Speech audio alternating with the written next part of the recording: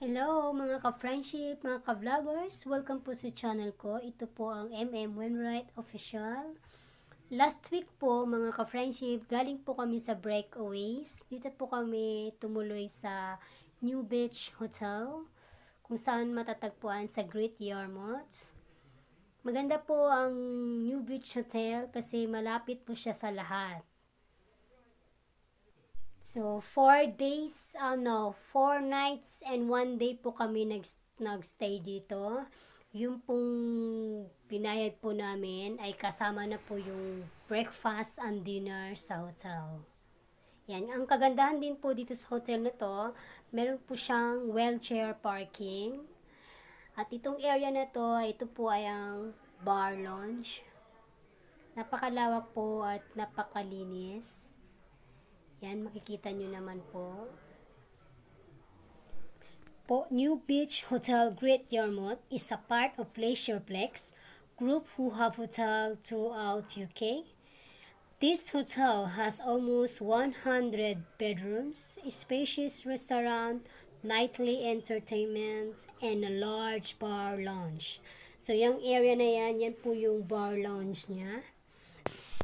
Yan po, makikita niyo naman po, napakalinis, maliwalas, tsaka tahimik. Isang extra bonus. Yan, tikita niyo naman po yung bar, napakalawak po. At saka, yung hotel na po nito ay situated close to the seafront. Kaya pa naglalakad po kayo, siguro mga 10 minutes po yung lakad mula sa hotel. Makikita niyo po yung dagat and then in the town center. Ting hit yun.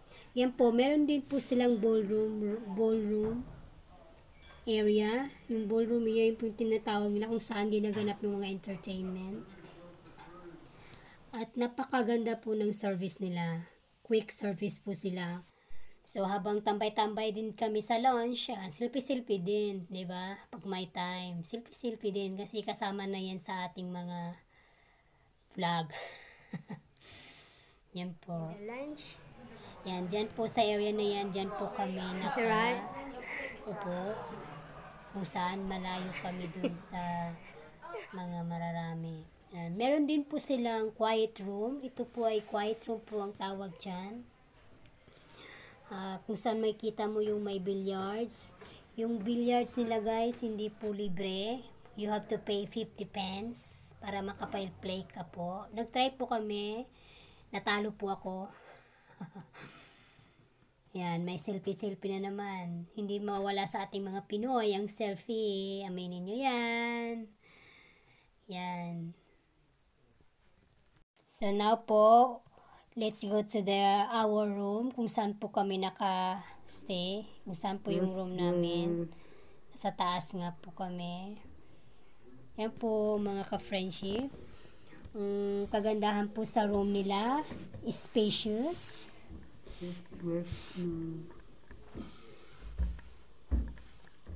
Yan. Hmm, lalakad-lakad mo na para makapag-exercise.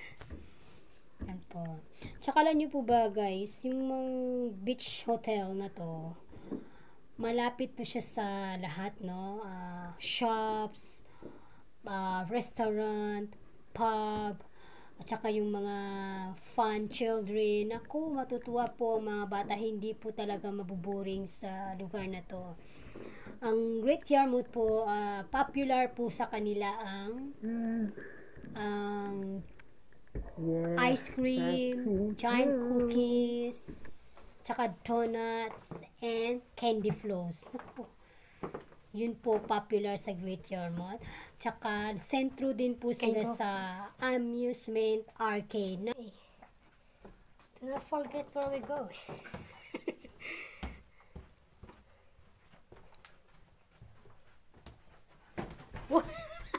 Joker talaga tong asawa ko. So, kung ikaw po ay nakatira sa Essex, try to visit the Great Yarmouth. So, here we go. Dito na po tayo sa room namin. Yan po. So, our room was a very good size, nice bathroom, and a powerful shower. Wait lang. and spacious.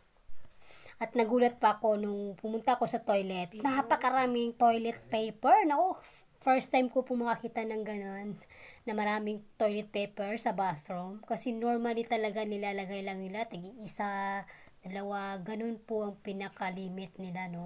Dito sa hotel na to, napakaraming toilet paper. Nagulat ako.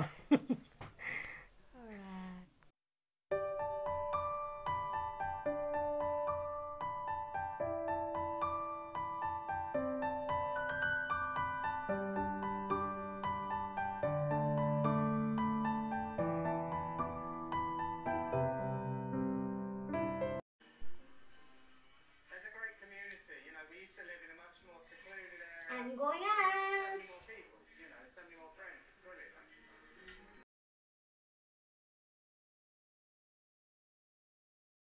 so breakfast dinner po kami includes po dun sa binayad namin, guys, sa hotel. So, yan po yung mga sample na nakain ko. Ah, meron po silang tatlong choices, no? Ah, kung ikaw ay vegetarian, kung ikaw ay vegan, meron din po sila. Pero, you have to tell them earlier. I think 2 hours or 3 hours before dinner na sabihin mo na vegan ka or vegetarian ka. Thank you very much. Can I have a pink one? Sa meals po namin mga ka-friendship, meron siyang starter, main course, and dessert, which is very good for holiday. Sarap din naman.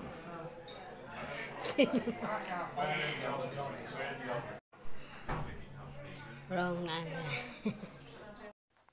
And then po, yung hotel mga ka-friendship, quick service, friendly staff, and then pag meron kang request, bibigay nila, which is brilliant.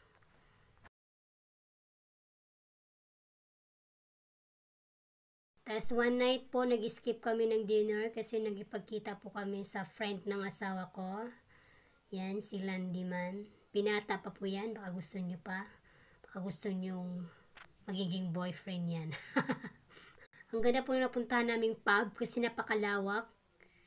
Tapos napakaganda pa ng toilet. Tingnan mo naman, elegant. toilet po yan ha, hindi yan dining room. Selfie-selfie pa nga ako eh. Addict talaga sa selfie. O di ba ang ganda ng toilet.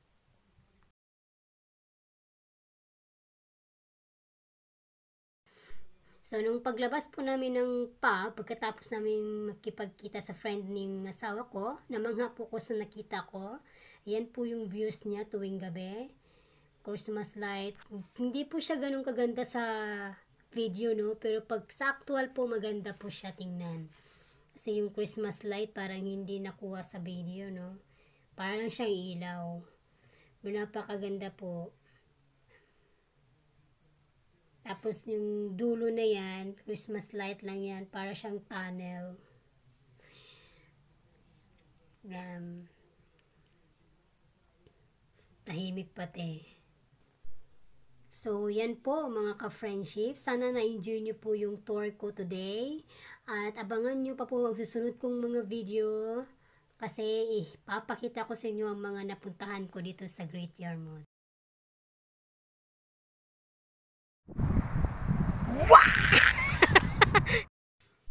Funny talaga asawa ko. Nagulat pa kayo. Ooh.